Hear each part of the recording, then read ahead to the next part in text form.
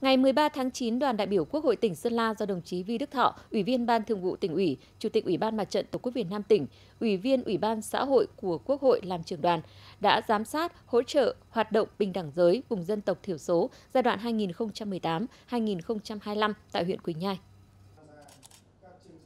Thời gian qua, công tác bình đẳng giới luôn được các cấp ủy Đảng, chính quyền và các đoàn thể quan tâm, lãnh đạo chỉ đạo và đạt được những kết quả quan trọng. Quỳnh Nhai hiện có 11 đơn vị hành chính cấp xã, 109 bản xóm với hơn 67.100 nhân khẩu, 6 dân tộc cùng sinh sống. Tỷ lệ hộ nghèo năm 2021 là 8,41%. Toàn huyện có 28 công ty doanh nghiệp và 78 hợp tác xã đang hoạt động trên địa bàn với các ngành nghề thương mại, dịch vụ. Trong đó có hai doanh nghiệp do nữ làm chủ chiếm 1,8%. Tỷ lệ nữ tham gia đại biểu Hội đồng Nhân dân các cấp luôn đảm bảo theo quy định.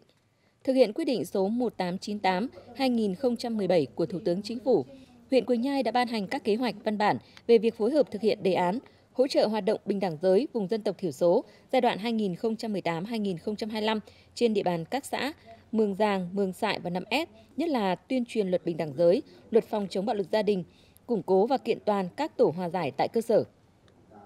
Phát biểu tại cuộc làm việc, đồng chí Vi Đức Thọ đề nghị huyện Quỳnh Nhai tiếp tục đẩy mạnh việc tuyên truyền, phổ biến các văn bản quy phạm pháp luật liên quan đến bình đẳng giới, duy trì các hoạt động của các mô hình câu lạc bộ, nghiên cứu nội dung bình đẳng giới vào giảng dạy tại các trường phổ thông, tổ chức các lớp tập huấn kỹ năng lồng ghép giới cho các công chức làm công tác bình đẳng giới các cấp và cho giáo viên thuộc hệ thống cơ sở đào tạo của từng ngành, nghiên cứu nội dung bình đẳng giới vào giảng dạy tại các trường phổ thông,